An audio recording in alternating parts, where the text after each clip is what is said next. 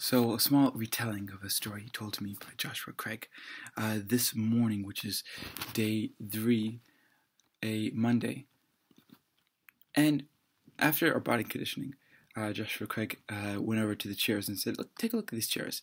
When our opponents who are fighting us, are pushing us, or putting pressure on us, they feel like they have our center, like the top of the chair, near the center part of the chair. They feel like they're grabbing onto that part and, and they're lifting right? Uh, if they were to be giving lifting pressure, for example.